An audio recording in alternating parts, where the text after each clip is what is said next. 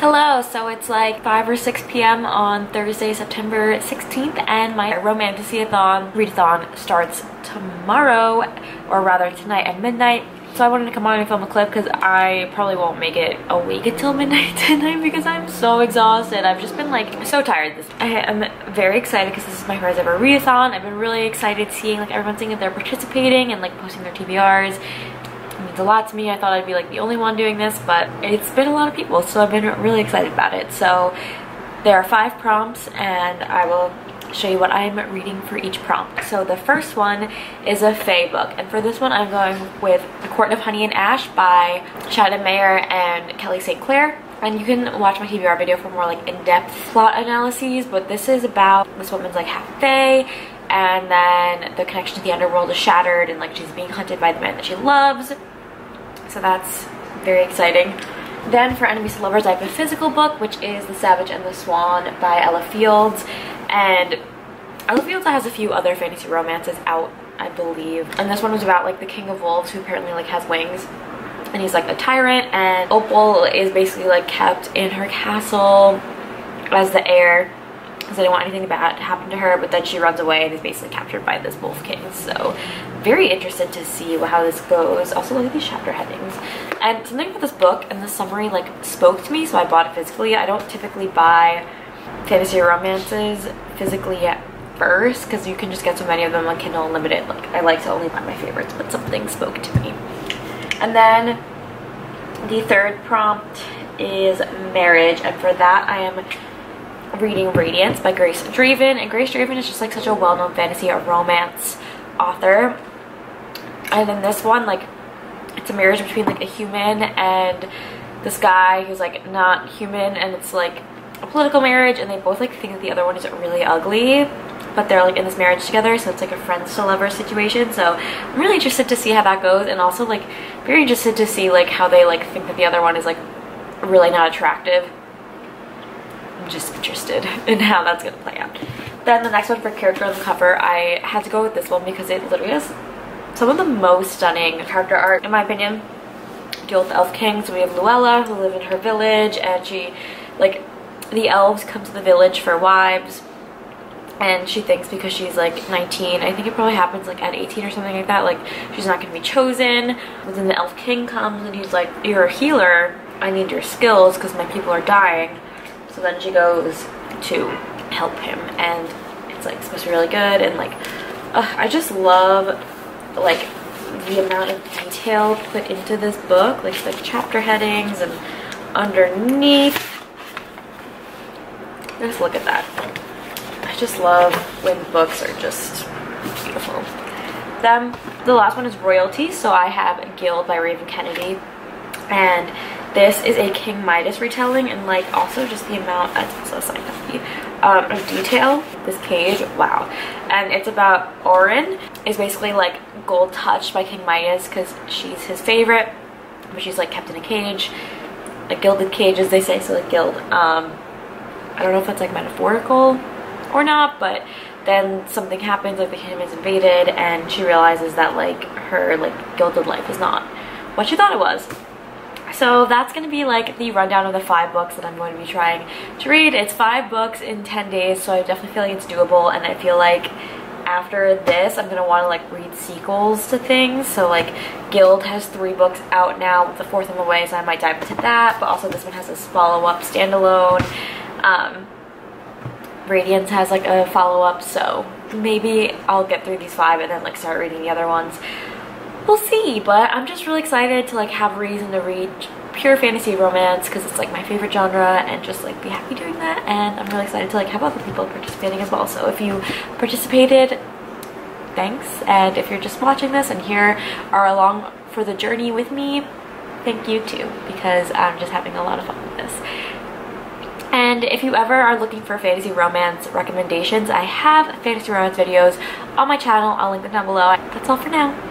Okay, so it's Friday and that means that my readathon is officially started. I actually last night finished a book before the readathon started that I think people could read for it and it's City of Thorns by C.N. Crawford. It gives me major Crescent City vibes with like a little bit more spice I give it like two chili peppers for spice and it's about Rowan who basically is like dreamed her whole life of going to like the city of demons um, but like you can't get in unless you're like attending the university there with like special permission or you're a mortal servant. And so like her whole plan is that she's gonna try and go to graduate school there but then she is mistaken um, for the last succubus and is kidnapped. And then like when the you know demon that kidnapped her confirms that she's not actually this like evil succubus like he's like okay well since you look so like her you're gonna be my spy and things go from there. It was really good. I think the next book is coming out late november-ish and i'm gonna be like picking it up immediately because the ending was like oh my god i need to see where it's gonna go from there. So really excited about that. Then last night before i fell asleep i because the readathon started at midnight started A Court of Honey and Ash and so far it opens on the scene of like these trials. So if you're half human half fae like you have to be in a trial to like show that you're worthy of being like in the Underhill which is the Seelie Court.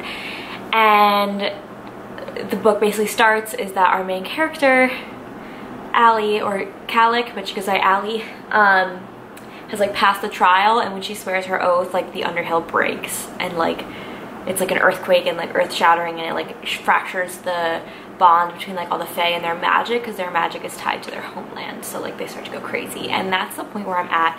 It's really early on in the book. It is page 28 only 8% so not that far yet. Though I will update everyone when I have like something more to say but so far um really enjoying the book and I'm just like so excited seeing like everyone participating. It just makes me so happy.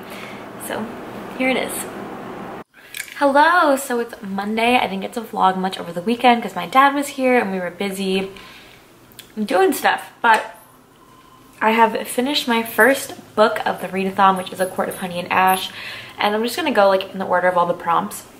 So the next one that I'll be starting is The Savage and the Swan, and I'm really excited about this one because it sounds good. So A Court of Honey and Ash, I think I'm gonna give it four stars. It was definitely more YA than I was expecting, which is fine. Um, you never sometimes don't know what, what you're gonna get with indie books unless they like explicitly say like adult. But I still really like the story. It's really interesting because it's like the Fae have like their own island and like humans are visiting it as tourists. So like humans know the Fae's existence. Um, and then like Calic, like the Underhill shatters when she takes her oath. So like she's basically being blamed for it and then she goes on the run and then like this boy that she's always loved is like hunting her down and like their interactions were like really full of tension and really fun. So I overall thought it was just like a really fun Fae story and I'm definitely going to be picking up the next one when it comes out because I really want to see where it's going to go. And like I'm just, I've been in my like vibe because I just love fantasy romance so much and this readathon has been so fun because I get to like read all these books and like it's like, even if it's not the best book ever, I just have so much fun reading it. Like I just love it. So now we are restarting the Savage and the So yeah, I'm gonna start this tonight. Um, and it's it's actually kind of shortish. It's like 300 and some pages. And like I said, it has to do with like a wolf king that has like wings and like it's like this enemies to lovers thing. Like she's not supposed to love him. He's like the enemy. So I'm really interested to see how I will like it. And I'm excited to be starting my second book of the readathon. I feel like it's going really well. I'm at like a good pace that I can finish everything and maybe read extra. I don't know, but I'm just excited. So I'm gonna go work out, eat dinner, and then start reading this wonderful book. Hello, it's Monday and I'm reading The Savage and the Swan. Yesterday I got to page 156 and it's good so far. Like we have this morally gray king and he's like very morally gray because he was raised, like he only knows violence. And then we have Opal who's the swan and like she's very delicate and she was basically like kept behind closed doors and like not wanting to do anything. And like she hates that they're like attracted to one another. And there's a scene where like she goes to like stab him but then.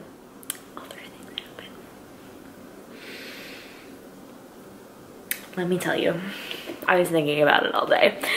So it's 330 something pages. It's about like 8.45 now. I'm gonna try to finish this tonight. I think I can. And then my next book that I'll be starting is A Radiance by Grace Draven. I'm just having like a ball, a blast reading fantasy romance. Like this is my shit. So yeah, I'm just like loving it, loving it, loving it, and having so much fun. And like, oh my god, the, the spice in this one is good. And I've heard that like some people are like, oh, like Ella Fields, I don't know, maybe not everyone vibes with her books, but I'm enjoying it so far. Like, I think it's good. I think it's a solid standalone fantasy romance and definitely has a more spice than the other books that I've read so far. So that's that. I look so corporate today. So it's Thursday, September 23rd, and I finished The Savage and the Swan two days ago, and then I just didn't read anything yesterday because I was like so exhausted, but I feel good about finishing my last three books um, today, Friday, Saturday, Sunday. I think I can do it. So, I think I'm gonna give The Savage and the Swan like 3.5 to 4 stars. Like it was pretty good. It didn't blow me away or anything like that. Like I felt like the characterization could have been like a bit stronger because Opal, our main girl, was just kind of like very complacent. Yeah, I don't know. I enjoyed it, but it didn't like stand out to me. But I still like really had a good time and like the smut was very spicy. Like definitely written more like erotica style. So there's that if you're looking for spice. And then a very unfortunate thing happened. My dog ate my Kindle. I, it was so stupid because I was lying in bed in the dark, as one does. And I had my Kindle on my lap because I was gonna get ready to read it in bed. And my dog was laying like right next to me, smushed into my side, chewing a bone. Or what I thought was a bone. But apparently at one point, he switched out the bone for my Kindle. And I was hearing the crunching noises and just thinking he was chewing his, his bone. He was not. He was chewing my Kindle. So I guess it was kind of on me leaving it right in front of his face because he thought it was a chew toy. So it's unfortunate. Um, there is a new Kindle version coming out at the end of October. So I think I'm just going to keep this one because I can still read on it for now. And then get the new Kindle when it comes out because like it's just a month at this point. Might as well. So I'm to be starting at Radiance by Grace Draven. This is like a friends to lovers and they're like different species so they don't think the other one is attractive so i'm very interested to see like that aspect of the story where like they aren't like attracted to one another at first because of like different species type things which is like ice planet barbarians except they are attracted to each other at the beginning we will see okay so it's the last day of romanticathon and i'm not even done with my third book i thought i was going to be able to get all five books done in 10 days and I didn't because my dad came to visit last weekend and Alex's parents last minute decided to come this weekend, which was fine. It was really fun. That's like all of my main reading time because I have so much more reading done on the weekends than I do on the weekday. And like yesterday I was cleaning all day to like prepare for their visit. So the amount of reading that I got done was not as much as I thought. I am going to try and finish Radiance today and start Deal with the Elf King. And I'll probably still read it after the readathon. I don't know if I'll get to Gild because I have a very exciting October TBR coming up and I kind of want to like switch gears. I feel like I've read so many fantasy romance books in a row. I'm like, okay, I need something a bit different now. And now that it's fall, I don't want to read as many romances. Like I'll probably still read romances throughout the year. But I really just want like spooky books, thick fantasy. Like I have not read a book that takes me a while to read. And as I've already hit my Goodreads goal, so like I want to read those thick, chunky books, and I have a lot of them on my October TBR, so keep an eye out for that. I'm going to be posting that next week on my channel. And so the last thing that I want to do today is go to Barnes & Noble and get a book from my October TBR, a chunky book from my October TBR. And that's what I will be doing. But my thoughts on Radiance, I'm about 75% of the way through. It is Friends to Lovers. It's like this arranged marriage between a Kai and a human. And the Kai are like these creatures that like look different. Like they live in the night and they have like gray skin with like eyes that don't have any irises like the whole eye is just like yellow. So the story focuses a lot on like the differences between them and like how they like creep each other out and then just how this couple comes like treasure and love one another despite their differences. And it's very beautiful. But the shortcoming for me was that there was not too much else going on in the plot to keep me engaged. Like I was engaged in the main love story but I just felt like it was just kind of slow, but I'm excited to finish like the last 45% or so today and then start Deal with the Elf King and then I feel like after that I'm to be toasted for fantasy romance. I just read too many in, in, one go. I feel like that happens a lot with genres where I read too many of the same things and I'm like, ah. I also realized that like looking back at the YA fantasies that I've read this year, I have not read all that many and that's like my bread and butter and that's like my fave so I need to up it uh, YA fantasies so that's kind of my plans going forward and yeah I'm gonna go to Barnes & Noble enjoy that part of the day and finish my day of reading and then hang out and I might continue this readathon one more day because it's my reading and at least get four of the five books done, or almost done. Hello, so my readathon is officially over. I finished Radiance and I can make three of my books cover all five prompts, so that's what I'm gonna have to do because life got in the way. I've read A Court of Honey and Ash, I think I gave that one like four stars, I wanna say. I might have rated it like 4.5 on Goodreads, I think it's four stars. And I really liked that one. It was definitely more on the YA side, but like I found the plot to be really gripping and I enjoyed it. And the sequel is coming out, what will be tomorrow from the day that I'm filming this. I'm gonna pick it up and I think it's gonna be like my lunchtime read because I only am to really bring in my Kindle to read, but my October TBR, which you will see next week, doesn't really have any Kindle books on it. Then I read Savage and the Swan, and I gave that one, I'm to say like 4.5 stars. Like, it was really spicy. It was really spicy. And like, the love interest was very morally gray. So if you want like a morally gray fantasy romance, check that one out. That's very spicy. And then the last book that I read is Radiance by Grace Draven. And this one is very sweet. I think I'm going to give it like a three to four. Um, I kind of have to process the rest of my thoughts on it. And it was just a very sweet friends lovers. Like they're in this arranged marriage, but they're different species. So like they think that they're ugly in the beginning and they like but they yet are like okay we're stuck in this marriage so like let's make the best of it and they just become friends. And then that like trust develops into something deeper. And so I really just enjoyed the relationship. I thought it was very beautiful. But for me there was no other like surrounding plot up until like the very end. So I kind of had to like bump a star from that because you know it just it wasn't as engaging and I didn't read it super quickly because of that like I kept putting it down so I had a really great time on my fantasy romance readathon oh I will probably also pick up the sequel to um, Radiance as well and just read it during lunch and then like not read it at home or anything like that but it has come to an end and I just had a really fun time reading this readathon. Thank you to everyone that participated. Like I just had a lot of fun seeing everyone's posts and really like getting excited about the genre that I love. And so my next big fantasy romance release is going to be JLA's new book, which is A Shadow and Ember, which is the From Blood and Ash prequel. So I will probably do a dedicated reading vlog to that book if people want to see it. So keep an eye out for that. But thank you everyone who participated. If you just were along for the ride and watched me do my readathon, thank you for watching. Um, have some fun, read some books, and I'll catch you guys in the next one.